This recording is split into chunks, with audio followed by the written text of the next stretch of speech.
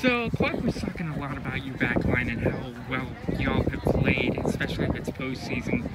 How awesome is it that y'all haven't allowed a goal at all this postseason?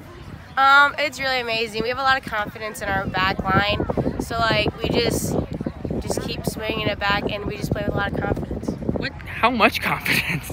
A lot. We work a lot on defense during practices, and like them dropping back to us and hey, and knowing that our offense can trust us too. How much? What types of stuff do you work on in practice? Uh, just dropping it back, swinging it across, having everybody get a touch on the ball.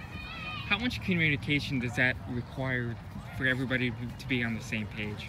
A lot of communication. We work on that during most games. Like we always need to like keep up the converse, the communication and stuff.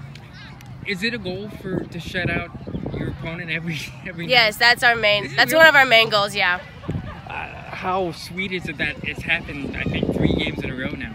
it's pretty amazing. It's a great feeling.